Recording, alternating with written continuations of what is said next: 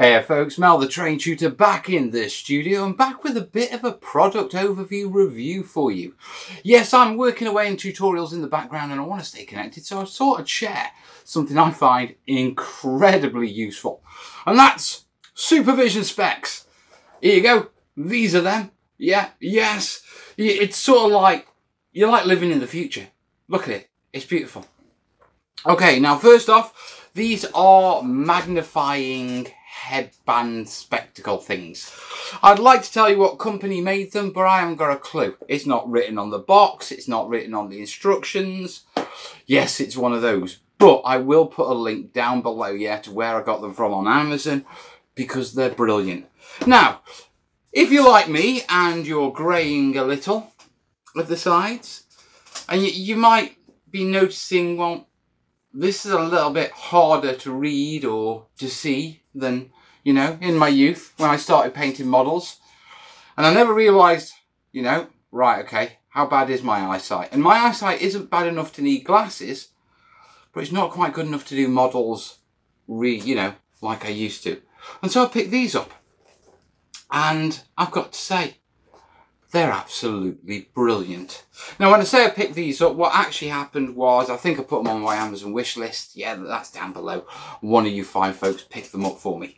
So, first off, yeah, what do they do? Well, basically, it's a headband with a magnifying glass and like a, a torch on it that can magnify up to one times, one and a half, two times, three, two and a half times, and three and a half times. And so let me show you. Now, I really do like these, which is why I'm recommending them. Okay, so first off, I'm, you got the strap, never bothered with that.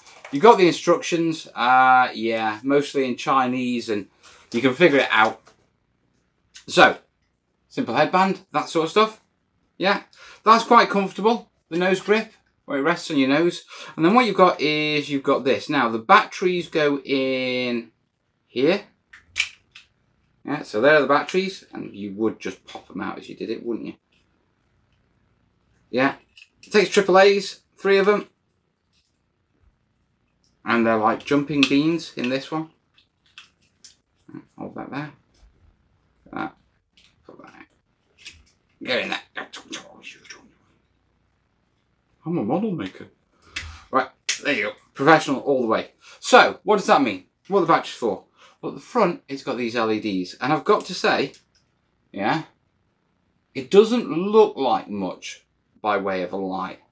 But when you're sitting at home and you're painting with a model, and you've got it up here, it's more than enough. And so what I've found is I don't actually use a painting light at home anymore. I do a lot of my model painting and small stuff at home, yeah, rather than the studio. I've got paints here and there, but I like to do my small stuff at home. And so these have been really good because it doesn't mean I've got to get any lighting or have a dedicated setup area. I can just pop these out and away we go. Now, on top of the light, yeah, a couple of things are adjustable. First off, you can adjust that, yeah, up and down, yeah. And that's basically where you want to look where your head is and where you want the magnifying glass in your field of view. So for quite often, I work up here when I'm painting. Yeah, so I have it quite straight. Whereas if you're someone who's perhaps sitting up here but working down here, you might want to tilt that down a bit so you can so you don't have to sort of cock your head over to get the magnification. Okay, so that's what that's about. Now, the lenses fit into there, but that's adjustable as well.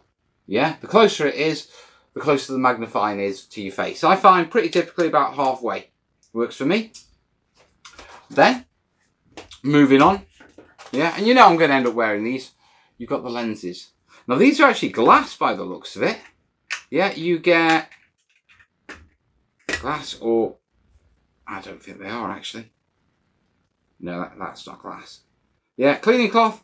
And then basically the magnify, magnification is set on there.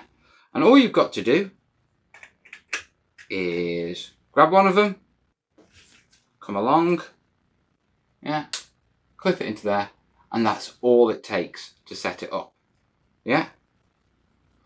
And so you get to the stage where, right, it's time to actually wear them.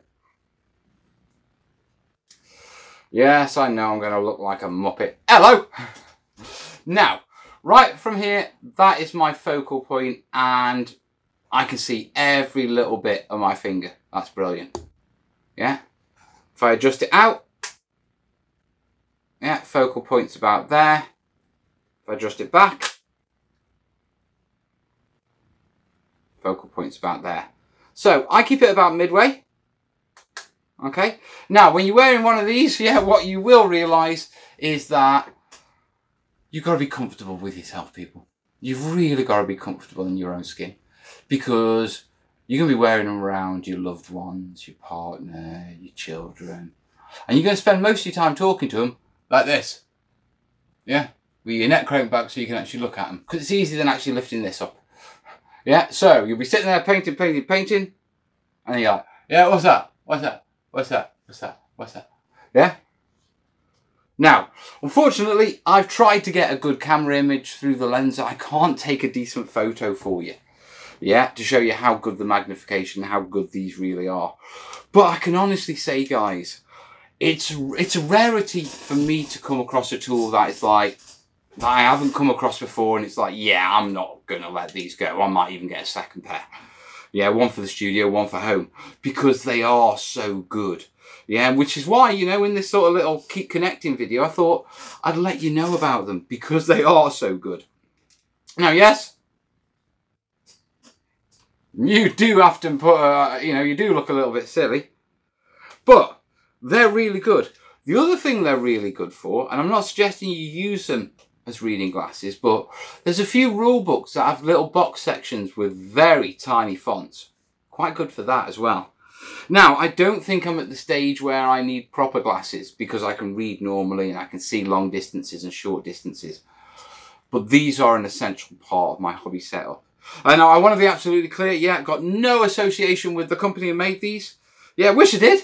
Yeah, but I haven't got a clue who made them. yeah, but the link is down below. So guys, what I'm curious about is whether you've got anything like this. Yeah, whether you use any anything like this.